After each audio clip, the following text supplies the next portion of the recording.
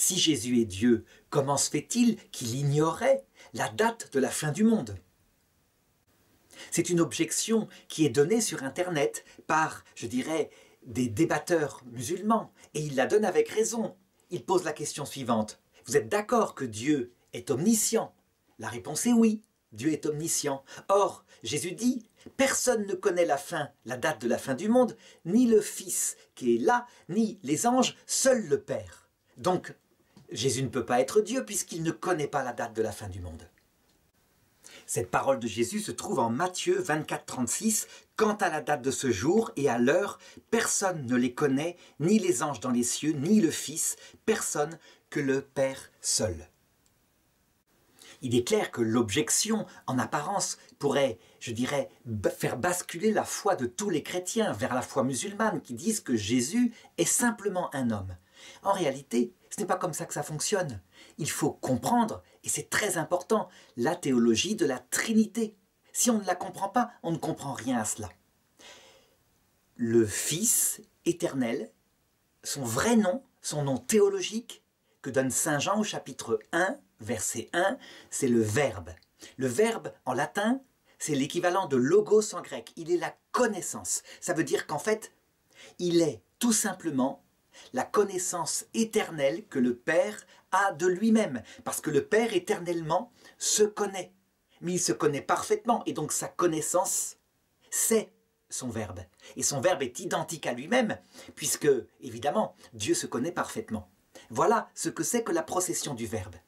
Résultat, le Verbe, lui, ne connaît rien, rien, rien par lui-même. Tout ce qu'il connaît, cela lui vient du Père, sans exception. Il n'est que la connaissance que le Père a de lui-même. Et Jésus sans cesse l'explique dans l'Écriture, par exemple en Jean chapitre 15 verset 15. Tout ce que j'ai entendu de mon Père, je vous l'ai fait connaître.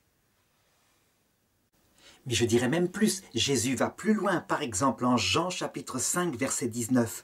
En vérité, en vérité, je vous le dis, le Fils ne peut rien faire de lui-même. On pourrait porter la même objection. Donc si le Fils est Dieu, il est tout-puissant, or il ne peut rien faire de lui-même. Il dit qu'il ne voit faire au Père. Ce que fait celui-ci, le Fils le fait pareillement.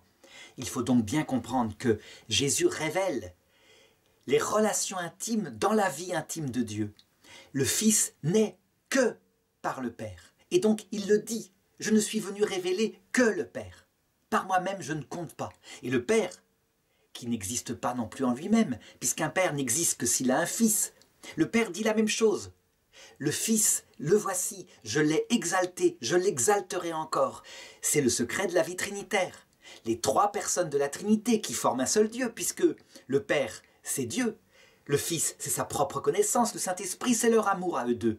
Eh bien, chaque personne met en avant l'autre, comme si elle était l'unique. C'est ce qu'on appelle la kénose intratrinitaire. Ce n'est pas plus que ça. Évidemment, cette petite vidéo ne sert pas à convaincre les musulmans, mais juste à montrer aux chrétiens la logique de leur foi. Mais il faut connaître les bases. Ce n'est pas pour rien que l'Église, au point de départ, dans les six premiers conciles œcuméniques, a défini la Trinité, qui est simple à comprendre, mais il faut la connaître. Et d'autre part, la nature de Jésus, qui est vrai Dieu, avec sa nature divine inchangeable, fait homme, qui a assumé une nature humaine sans mélange, mais par une union dans l'être qu'on appelle l'union hypostatique.